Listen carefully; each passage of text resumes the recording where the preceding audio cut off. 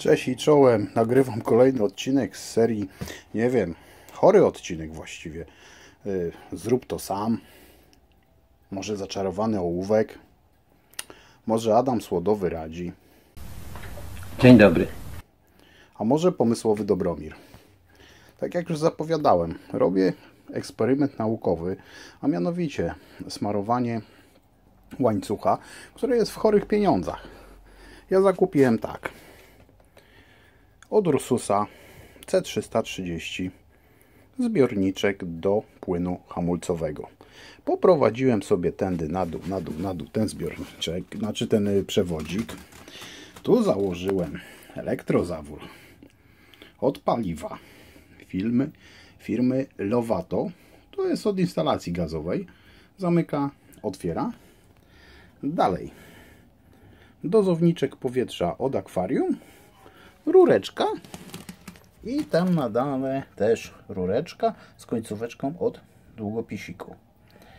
Cały koszt tego przedsięwzięcia to jest hmm, 45 zł. 45 zł, tak, dokładnie. I teraz dalej jedziemy. Elektryka. Przekaźnik.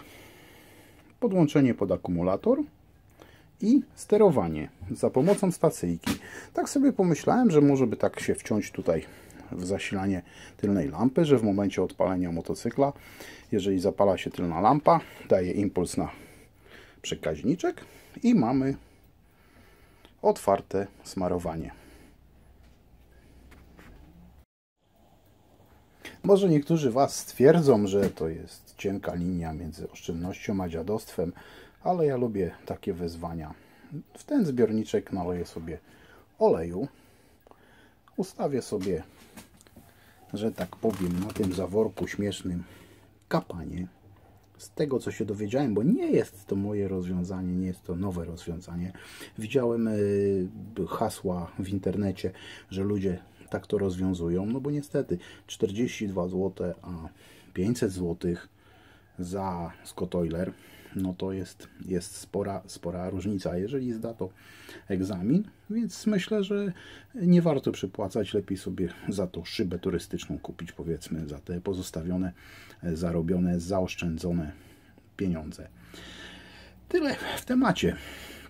Lewa w górę, życzę Wam wszystkiego dobrego, aby do wiosny. No i za jakiś czas, jak wyjadę na uliczkę, pochwalę Wam się, jak to moje badziewie działa. Zobaczymy. A nóż widelec będzie ok. Głosy w internecie, tam na Facebooku, jakiś chłopak właśnie też o tym mówił. Także nie jest to nowe rozwiązanie, ani jakieś tam nie wiadomo, że ja tam coś wymyśliłem. Broń Boże, to już ktoś przede mną wymyślił. Ja tylko jak gdyby wyłapałem temat, no i, i, i zbudowałem takie coś. I myślę, że Wam też opowiem, jak to się sprawuje za jakiś czas.